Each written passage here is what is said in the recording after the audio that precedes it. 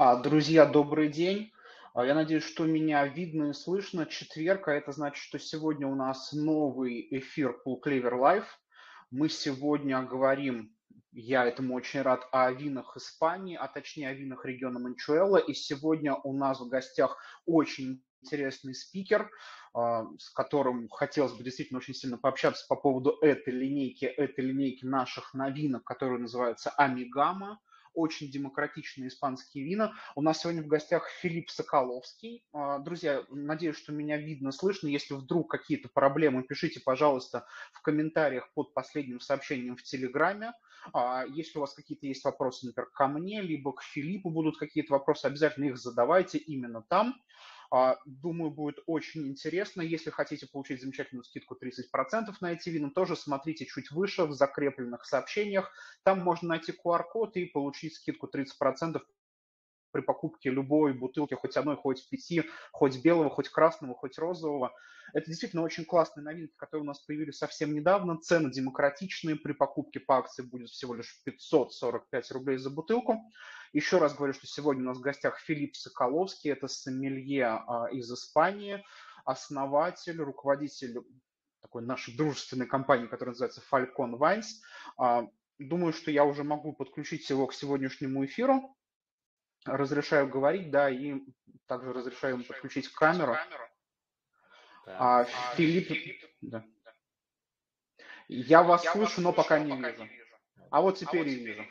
Да, приветствую. А, а добрый, день, или, ну, ну, ну, можно сказать, что вечер уже, в принципе, и у вас тоже уже, наверное, вечер потихоньку. Да, у нас замечательное, самое лучшее время.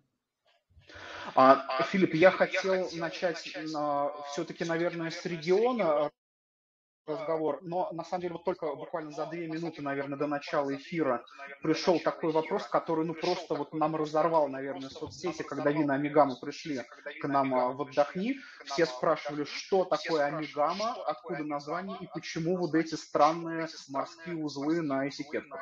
Давайте сразу его закроем и пойдем дальше. Или, может быть, подождем, чтобы присоединилось побольше людей? Да, да, да, я думаю, что мы еще можем немножко подождать.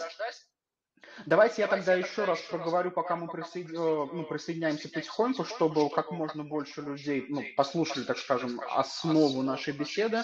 А, говорю, что это регион Манчуэла, и что важно, именно вина Амигамы были первыми для наших коллекций сомелье винами из этого региона. Я, конечно, не могу сказать, что регион вот на 300% прям такой новый, мы вот его открыли, можно сказать, там для всей России вот не так давно, но в какой-то степени для наших гостей, для себя мы этот регион открываем.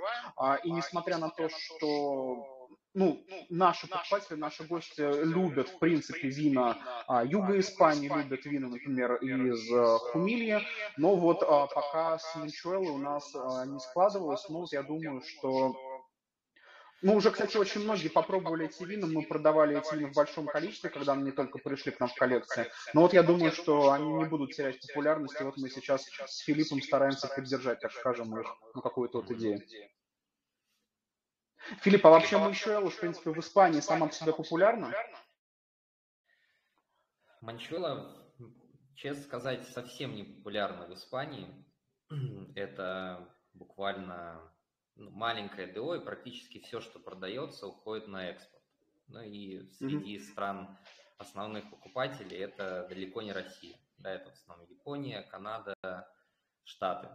Туда уходит основ, основная часть э, экспорта именно бутилированного вина. Как и многое, многие субзоны в Ла-Манче, да, и Манчуэла, Ла-Манча, и Вальдепене, Сальмансе, это, конечно же, всегда те регионы, которые в основном продают вино наливом. Вот. У Манчуэлла mm-hmm. история совсем, скажем так, короткая, наверное, по сравнению с другими ДО, как там Рибейро, Херес или или Риоха, но, но она набирает обороты. Вот, за последнее время э, Манчуэле всего лишь 20 лет. Где-то в 90-х э, часть виноградарей решили постепенно как-то отделяться, потому что ну, слишком большое количество Ла-Манча очень огромная, и в этой Ла-Манче еще очень много географических таких участков, которые отличается между собой чем-то. Либо это теруар, либо климат, либо местность, либо какие-то автохтонные сорта. Вот, и манчола как раз это ну, тоже такой уникальный кусочек земли в Испании. А, отвечая еще раз на вопрос, то есть вот в Испании это продается примерно, ну, где-то 10% всего производства.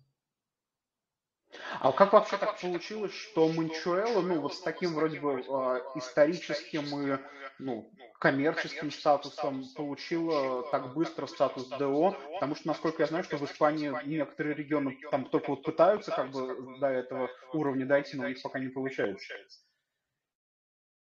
Мне кажется, ну мне не кажется, это я в принципе ну, наблюдаю э, за этим давно. Очень сильно региону помогают какие-то конкретные виноделы. Виноделы, которые, можно сказать, основные представители региона. Э, в Манчуэле их, э, их несколько. Вот. Это Росалия с винодельни Альто Лондон. Может быть, знаете, женщина очень такая тоже известная ну, слышал. в узких кругах. Да. Потом Наш э, коллега тоже и партнер э, Хуан Антонио Понсе, он долгое время работал в Тельмо, в Тельмо Родригес, а потом вернулся к себе домой и основал свою винодельню. Вот его считают типа, королем Бабали, ну, человек, который постоянно путешествует по миру, и его вина очень хорошо известны тоже и среди критиков и так далее. Вот, и благодаря таким небольшим семейным проектам, как мне кажется, помогает э, появиться на, на карте мира и, и на карте Испании новые, новые регионы. Я для тех, кто, кто только вот к нам сейчас присоединяется, мы потихоньку перешли за количество в 30 участников.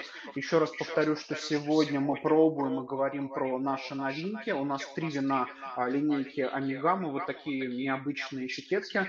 А, три вина, белое, Белое это макабел, розовое это бабаль, красное это тоже бабаль. Мы обязательно поговорим про сорта. И у нас сегодня в гостях Филипп Соколовский, это сомелье, основатель компании Falcon Wines, а, наши давние друзья-партнеры.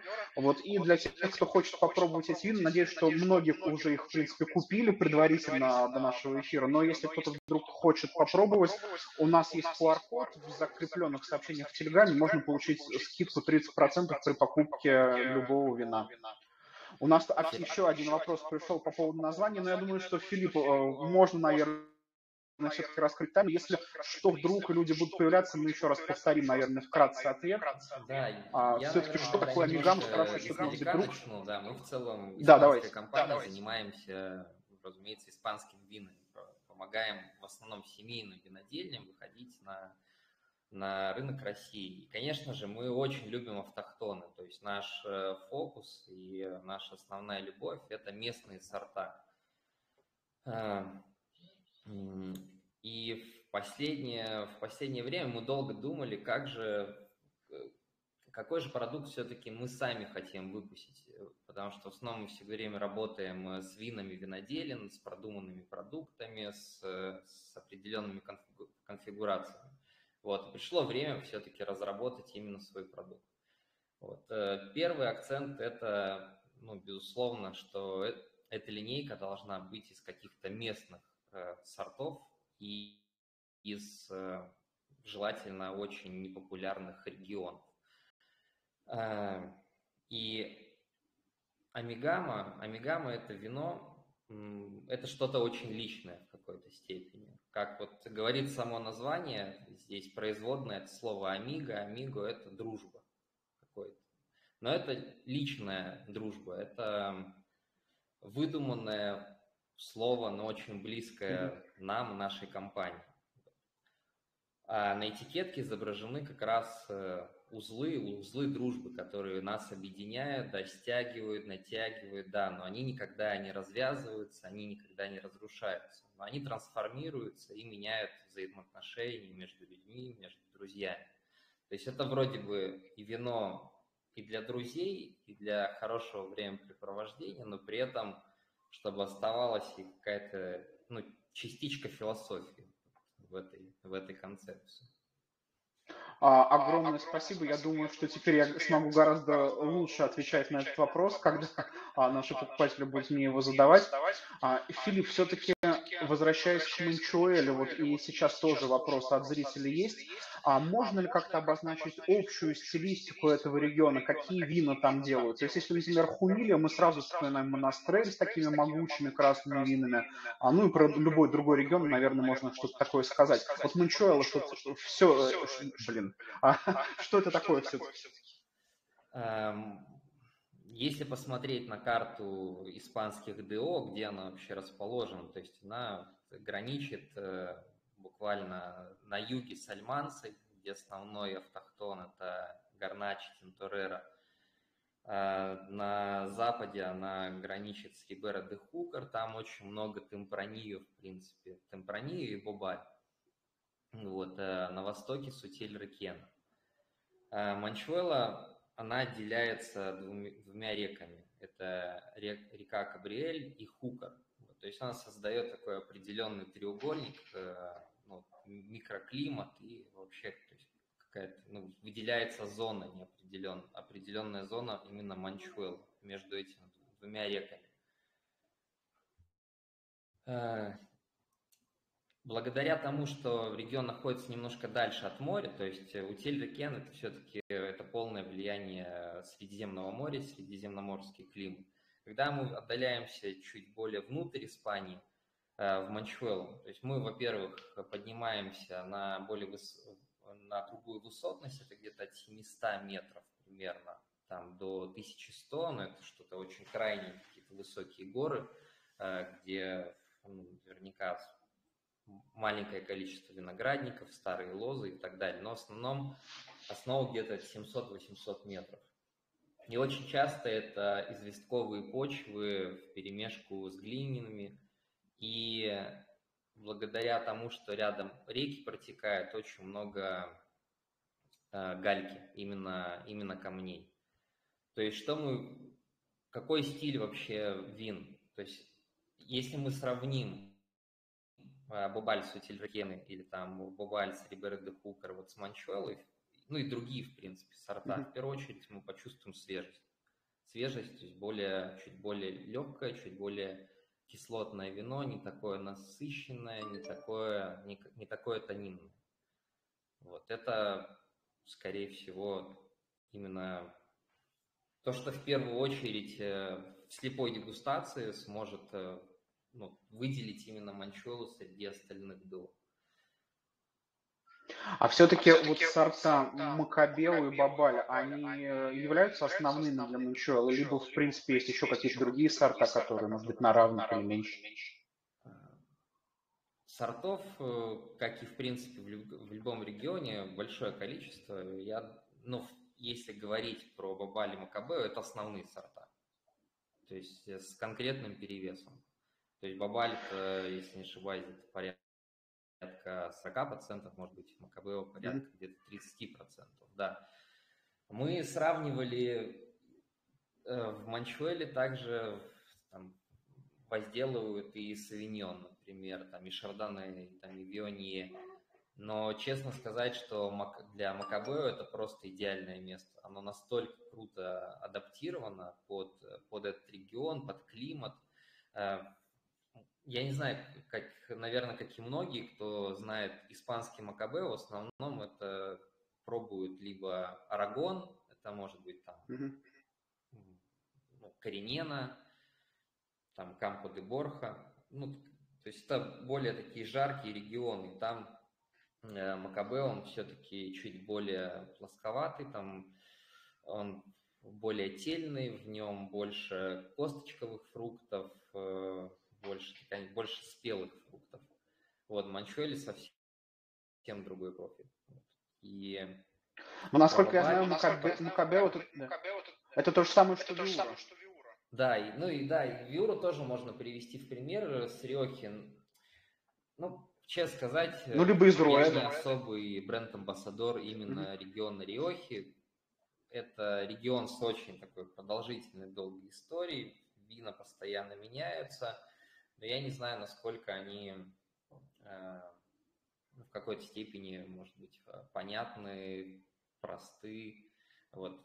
Рех, рехи, розни, в общем. Вот. Но Виура, да, Виура тоже. Виуру, хорошие образцы Виуры, они, возможно, ну, невозможно, скорее даже выдерживаются в бочке, чтобы делать ее такой менее зубодробящей, чуть менее минеральной, чуть более, чуть более приятной, такой гастрономичной, помягче. Ей Виуре в Рехе бочка очень подходит. А в Манчуэле мы все-таки говорим про, про какую-то легкость, про высокую ароматичность, э, про легкое тело и достаточно такую сдержанную кислотность, но она все равно чуть выше, чем там, в Валенсии или, или в Арагоне. А вот есть а такое какое-то устойчивое ну, понимание, особенно в России, что Макабео такой достаточно простой сорт, и из него практически невозможно получить ну, какое-то вот очень такое грандиозное, серьезное, ну, можно сказать, великое вино. Это правда, либо все-таки можно с этим поспорить? Ну, в принципе, в этом, в этом есть э, доля правды. Я думаю, просто основная причина в том, что в основном в России э, Макабео встречается в очень бюджетных винах. От, э, от очень крупных компаний, где там, это тысячи гектар, где это миллионы литров, миллионы mm-hmm. бутылок, очень такие бюджетные демократичные вина с достаточно жарких регионов. Mm-hmm. Дело в том, что Макабео надо там, вовремя собирать. Он начинает, он начинает, ну, набирает очень много сахара и потом в целом теряет всю свою свежесть, структуру. Вот, например, в случае амигамы и, и манчуэлы в целом э, сбор урожая он происходит ночью. Вот. То есть это механический сбор в данном случае, чтобы тоже быстро, оперативно собрать э, нужные виноградники и, и с утра уже доставить виноград на винодельню.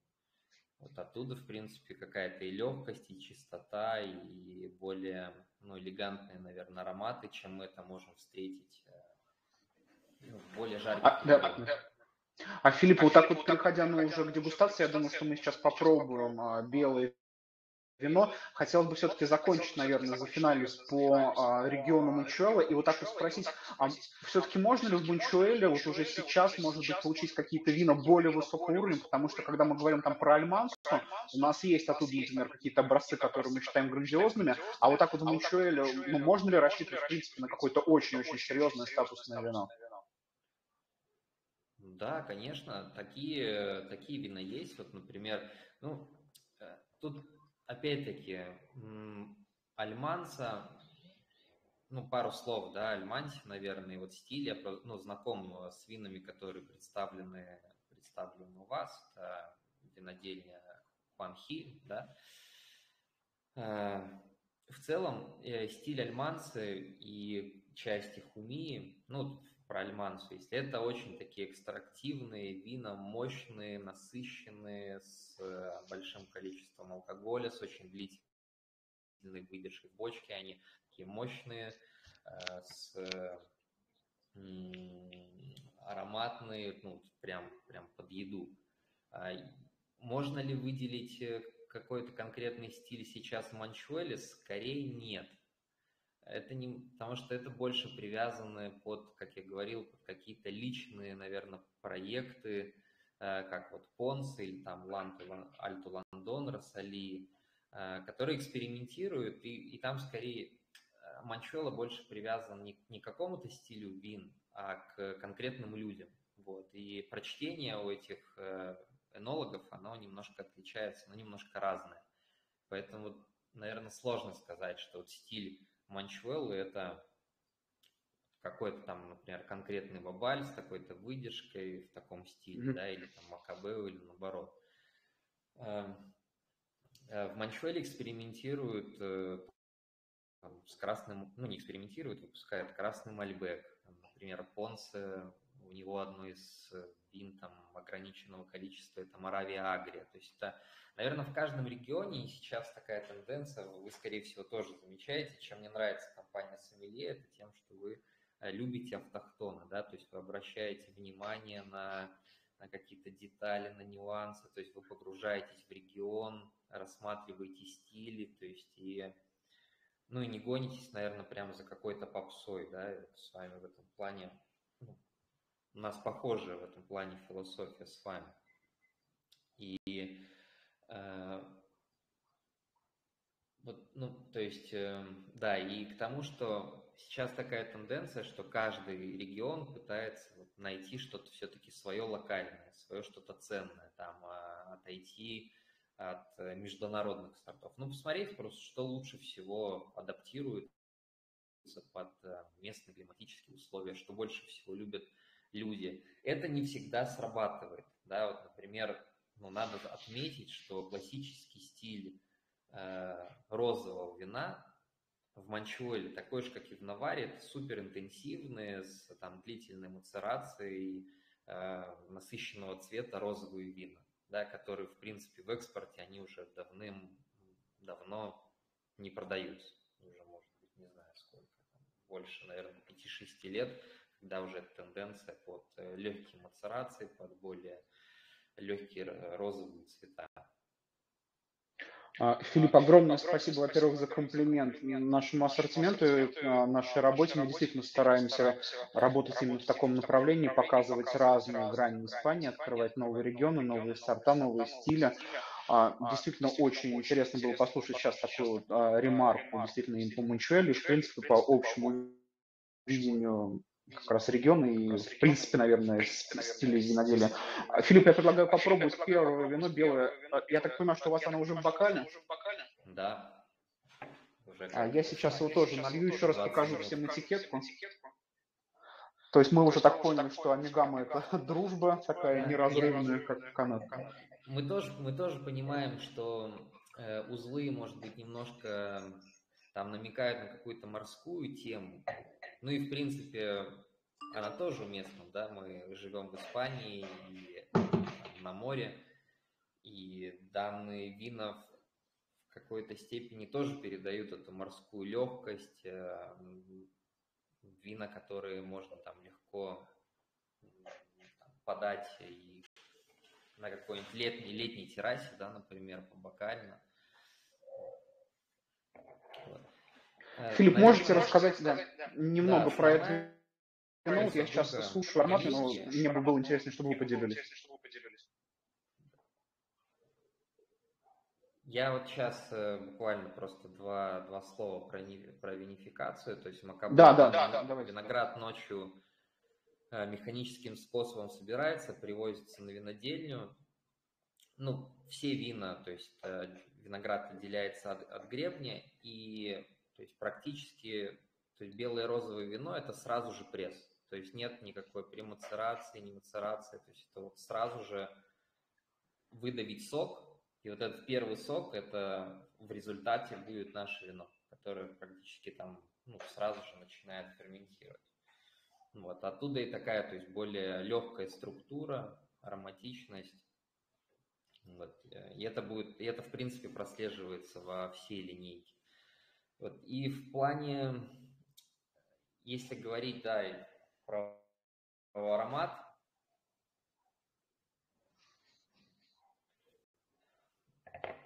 очень, очень такой легкий, элегантный, ненавязчивый аромат э, каких-то, то есть цитрусовых э, цветов, белых цветов, но такой не, не в фазе уже сильного цветения, а вот они только-только mm-hmm. открываются, то есть что такое вот прям сам запах э, лепестка может быть вот в таком плане.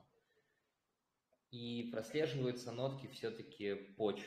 Там известковые почвы дают э, какую-то минеральность.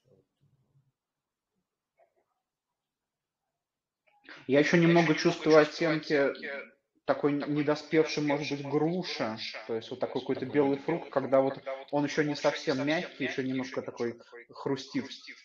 Да, да, да, согласен, согласен. То есть, ну, не, не то есть не что-то в плане, то есть макабе вот часто какие-то косточковые фрукты такие спелые. Нет, вот здесь, да, это что-то такое, то есть более зеленое, более вот на, на грани там созревания.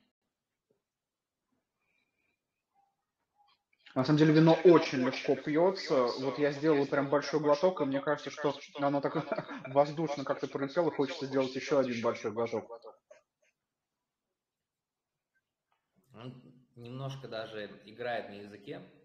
Эм, там минимальное количество карбоника, которое, то есть это умышленно даже добавлено до, для консервации вина, чтобы оно не кислялось, ну и добавляет какой-то такой игривости, что ли, на языке, на структуре, то есть он и, наверное, очень хорошее, в принципе, качество, но особенно, когда мы там торгуем, продаем вина, это вот слюна, слюна такое выделение, то есть это вино, которое очень, ну, требует еды, то есть какая-то закуска вот обязательно прям. Ну, оно и в соло хорошо идет, потому что оно не тяжелое, да, но вот я сделал тоже вот этот первый глоток, у меня слюноотделение хочется, то есть чем-то таким легким закусить. Вот меня... А что бы вы рекомендовали? Сейчас жарко, да, сейчас все-таки, ну, пока... Но у, у нас нет, у нас холоднее. Ну, или мы близко к этому, да, и... Ну, у нас уже вот жарко, я буду говорить по себе. Что-то хочется прям легкое. Если и рыбка, то какая-нибудь рыба белая на гриле, не жирная. Эм, пускай это будет э,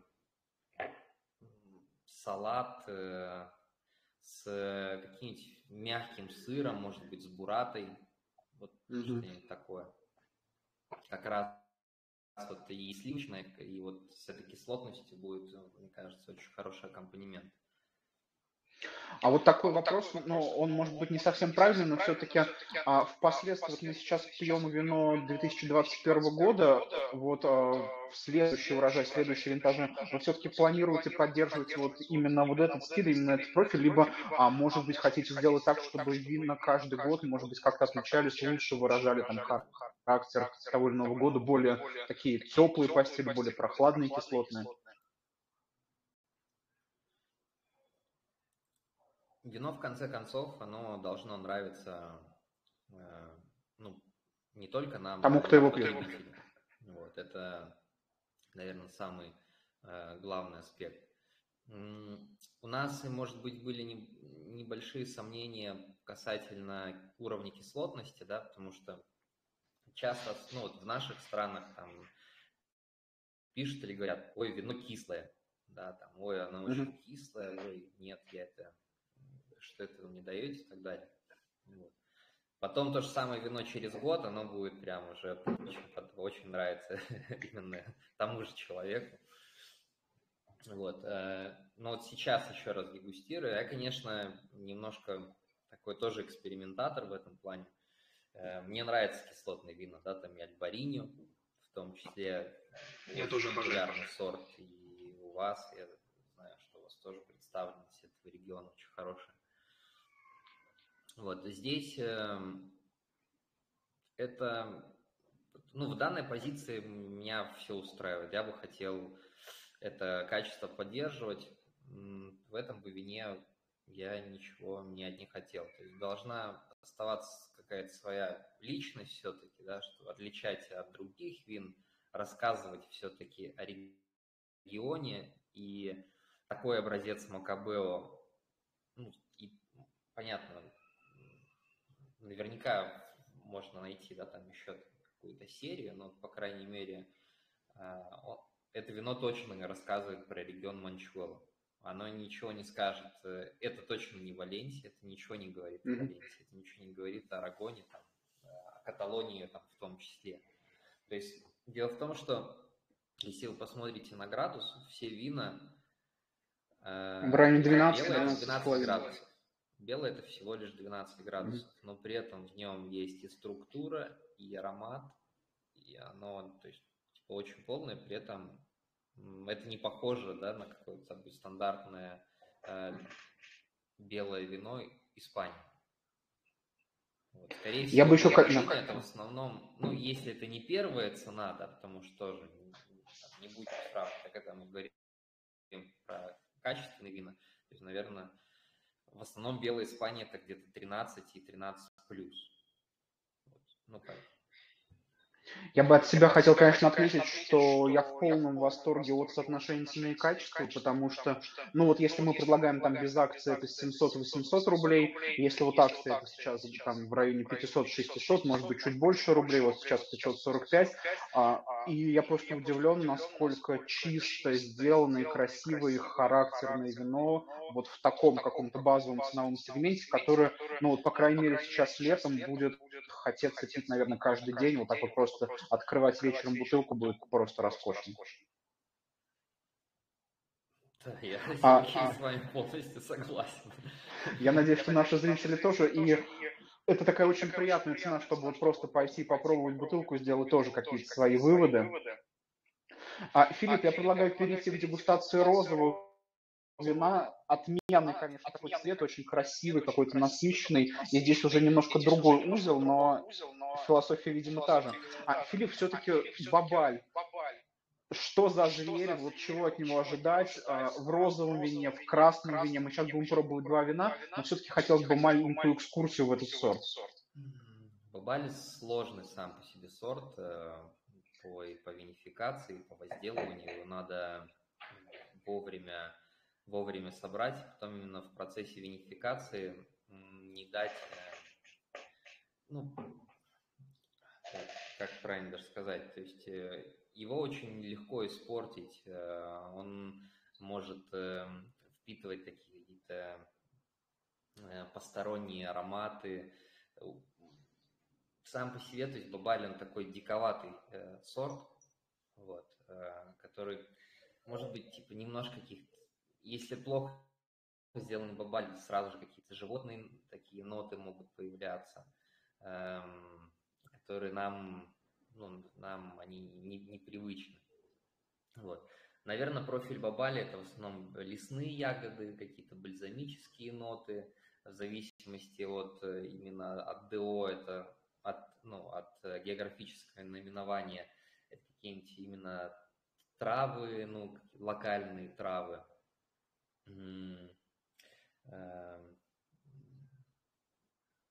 Черные, черные ягоды, ну, вот что-то, что-то такое, то есть очень лесное.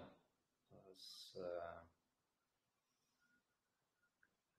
а, Филипп, хотите, я расскажу маленькую прям историю про это вино, которое уже сложилось вот буквально там за два месяца его присутствия у нас в магазинах. Давай. Это был первый, по-моему, случай в истории. Мы привезли вино в магазины, и у нас отзывы пошли не от гостей, не от покупателей, а от наших продавцов, тех, кто работает в магазине. Они, видимо, ну, увидели, что цены достаточно демократичные, решили попробовать и начали нам вот в рабочих каких-то почтах везде писать, а вы пробовали этот розовый бабаль, он просто обалденный, там лесная земляника, какие-то лесные травы. У нас прям уже даже официальные письма писали, что типа а, продавцы, либо там управляющие магазинов благодарят за то, что это вино появилось и просто типа всем его рекомендуют. Именно про розу. Это, это прям Ой, чудеса какие-то. Ну, классно, Сергей. Самое, вот, самое приятное – это вот слышать именно такие искренние отзывы, да, особенно когда они еще спонтанно появляются сами.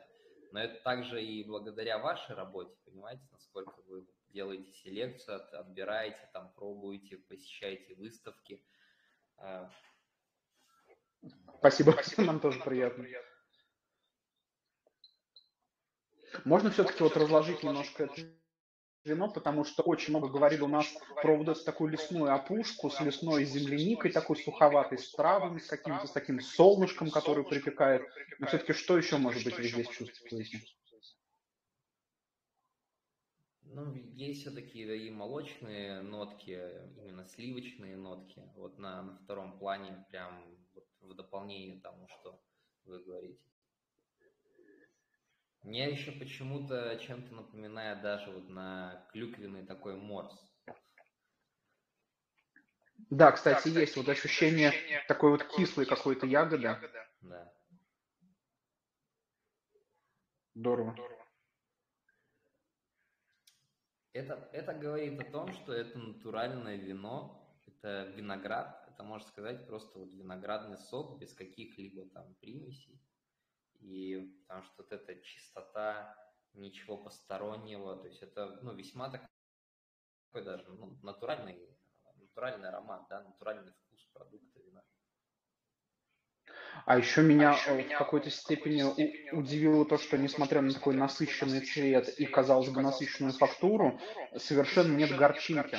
Потому что вот я очень часто горчинку в розовом вине из Испании улавливаю, особенно с юга Испании, и здесь ее просто нет как таковой.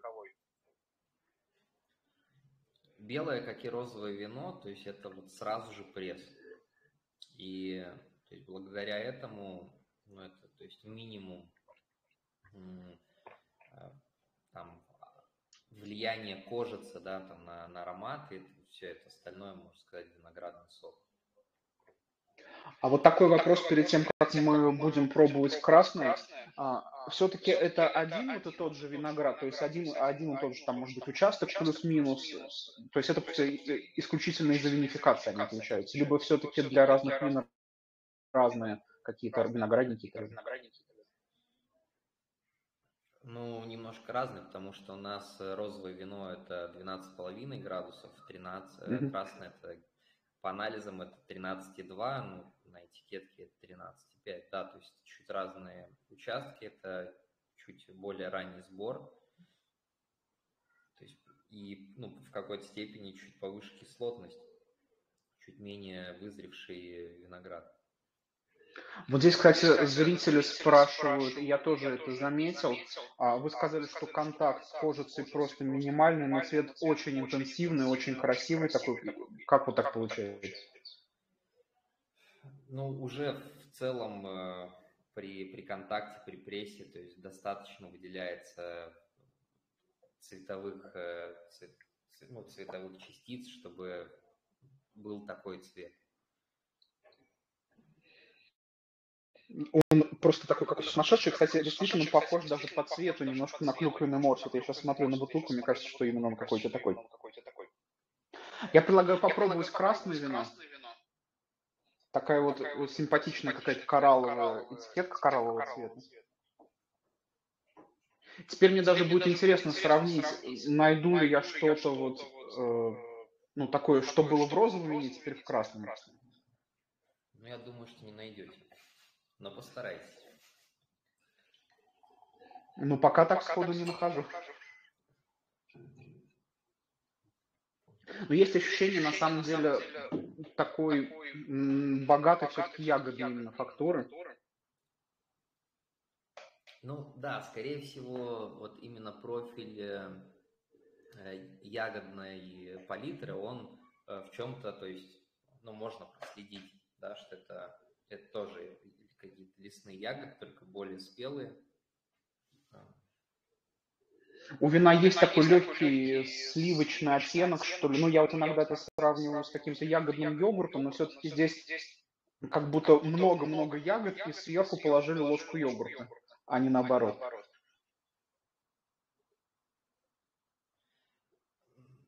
Да, то есть это вот... Э,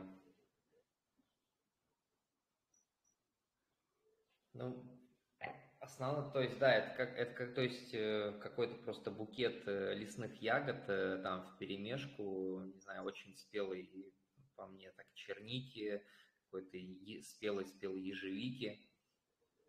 Ну да, это ну, какая-то вот такая корзинка с лесными ягодами, что ли. Да, Вино, кстати, не, не, да. оно не воспринимается пряным. Потому что вот от таких вин иногда ждешь легких каких-то вот таких оттенков специй, а вот здесь этого в принципе нет. То есть вот вино такое прям вот именно ягодное, ягодное, интенсивное. Здесь, кстати, есть еще один вопрос от зрителей. Сейчас я попробую его задать. А по поводу вот Бабаля, ну, в принципе, этого красного вина, в шкале, где ну, самый такой, самое легкое вино это Пино Нуар, потом Мерло, потом Каберне Савиньон, потом Сера, куда можно поставить Бабаль? Вот на какое место? Ну, это, конечно, вопрос такой сложноватый, наверное. Ну, конкретно вот этот? Ну да, да, давайте его. От легкости к максимальной такой какой-то плотности и тельности. Так, ну, если, например, давайте такое что-нибудь, э, ну, это, это, конечно, сложный вопрос, так, Я, я почему-то немножко, немножко, да, если рассуждать э, вот и в плане ароматики, я сейчас еще не попробовал, но я примерно, то есть понимаю вот профиль, то, что я там получу в итоге.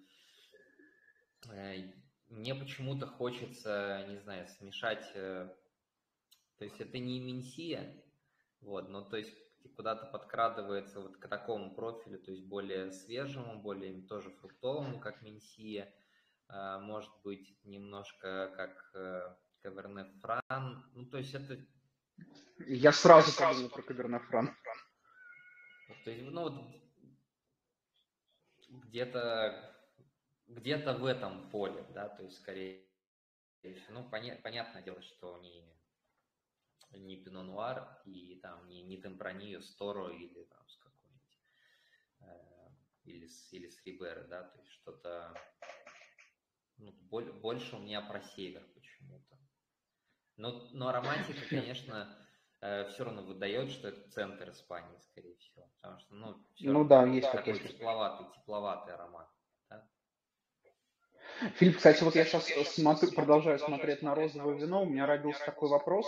А, мы часто говорим, что ну, розе – это, в принципе, очень универсальная тема по гастрономии. Она подходит и как там, ну, к рыбе, к салатам, к закускам и к мясу в том числе.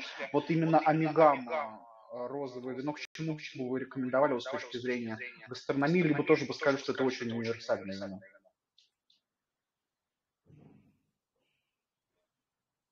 Ну, это очень универсальное вино. Супер, я согласен. У меня сразу же просто в голове начинают э, идти какие-то картинки и комбинации. Ну, то есть вот банально. Я смотрю это вино, я его пробую, понимаю, что фрукты, вот прям любые свежие фрукты, такой, то есть около, около гастрономичное, да, то есть как аккомпанемент просто. Эм, начинаю думать про ну, может, может быть, с кроликом бы я это не подал. С кроликом бы я не подал mm-hmm. это вино. Мне кажется, он перебьет просто у него такой сильно насыщенный такой вкус. Ну, с какой-нибудь м- с курицей, с какими-нибудь рыбными котлетами, но не щуки. А мне почему-то представились креветки на гриле, не знаю, ну, вот розовое, оно нежное, его перебить, то есть вот желательно не, ну, перебивать какой-то насыщенной едой. То есть, но видно, значит, не универсально. Вот. Значит, ну, не универсально, я сразу подумал. Ну, его, мне кажется, можно даже, в принципе, на аперитив подать, и потом, если у вас на столе действительно какое-то есть белое мясо, то почему бы и нет, вполне себе. Окей, окей. Э, линейка Мегама, ее можно и вот просто купить и, и, и так пить. Да, я согласен, тем более... Желать, да, красное даже можно немножко охладить, вот сейчас лето, я думаю, позволяет э, там где-то и 16 градусов, можно там чуть, не, чуть больше охладить, открыть, то есть пока она будет нагреваться, тоже наблюдать, как будет меняться. А, и с э, белым розовым также их тоже можно еще больше охладить, там, может быть, до 8, и тоже смотреть, как оно будет нагреваться, и вино меняется. То есть розовое больше меняется, когда сильно охлаждаешь, но аромат, все, ароматика все чуть больше приглушается, но оно такое легкое, волшебное. А белое, наверное, очень хорошо охлаждает, прям приобретает какой-то такой вот э, очень такой профильный аромат, очень, такой, наоборот, более фокус появляется у белого вина при охлаждении. А, друзья, наши дорогие зрители, всего лишь там 1600, чуть больше рублей за целую линейку из трех бутылок по нашему QR-коду. Мне кажется, что в принципе, ну это даже на столе будет очень круто смотреться, если вы так принесете домой три бутылочки, сфотографируете, отправите друзьям куда-нибудь в социальные сети и скажете, вот я сегодня вечером пробую вина Амигам из Манчуэлла. Настроение поднимает вас на все сто. Отличная идея для посиделок, для посиделок с друзьями. Вот идешь к друзьям, к хорошим друзьям. Ну, но это не плохим. Зачем идти к плохим с плохим вином? Ну, ну, нужно именно идти к ним с плохим вином, к плохим друзьям. Ну да, в целом для компании. Там обязательно. А тем более у нас э, сейчас, я надеюсь, что скоро начнется все-таки активный такой сезон поездок на природу и шашлыков, и на следующей неделе у нас уже в России будет тепло. И очень-очень здорово, что у нас получилось сегодня представить такую линейку очень красивую, очень здорово сделанную. И Филипп, просто вот а, низкий поклон вам за такие вина, которые просто вот ну, можно сказать, продвигают, в принципе, вино Испании среди широких масс людей, кто, может быть, не может себе позволить там какие-то очень дорогие вина, но а когда ты пьешь такое вино, ты понимаешь, что, в принципе, даже очень классные, красивые испанские вина могут быть доступны. Спасибо, Сергей. Вот э, то, что вы раньше меня спросили, что, что бы мы хотели там поменять или там, доработать и так далее. А мы точно хотим сделать винтов, э, винт вот, для того, mm-hmm. чтобы, когда мы заговорили про природу, и, ну как, если друзей нет рядом, и ты один, и сразу не можешь выпить всю бутылку, вот, мне кажется, винт, он ну, еще больше откроет возможности и добавит новую публику для, для, ну, для покупателей, для потребителей. А, мы очень рады будем, да, будем ждать тоже винтовую пробку. И мы очень рады работать с вами, Филипп, с Falcon Wines, потому что все вина, которые от вас у нас в коллекциях, ну это просто бомба, в том числе и Кампо Марин, конечно, который мы тоже все обожаем. И хочется вам сказать только огромное спасибо за то, что согласились вот эти там 50 минут провести сегодня вечером, попробовать вот эти вина, и я думаю, что зритель тоже очень благодарны. Спасибо, Сергей, очень приятно, что мы снова встречаемся в трансляции, уже, правда, на другой площадке, но здесь даже, мне кажется, и удобно в какой-то степени. Да, кстати, э, завтра, я надеюсь, что утром я смогу выложить э, запись этого эфира на YouTube и сможет посмотреть намного больше людей. О, супер. А тогда, Филипп, огромное спасибо, хорошего вечера и до связи. Надеюсь, что не в последний раз. Да, Сергей, спасибо, увидимся еще. Все, до встречи. Все, до встречи.